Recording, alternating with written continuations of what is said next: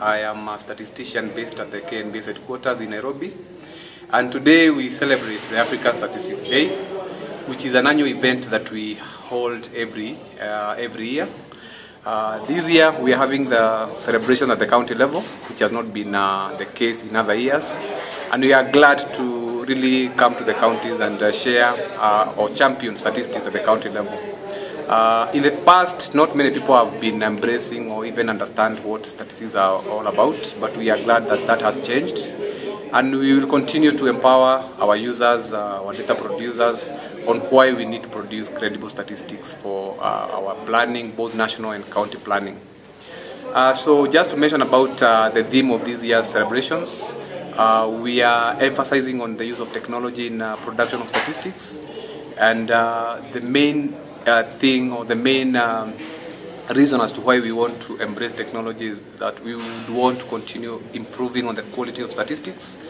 As we know that um, statistics that is not of quality for use by uh, the various users is uh, may not be you know helpful in terms of uh, assisting in our in informing policy. So we believe that embracing technology is one way of you know improving our uh, the official statistics that we produce.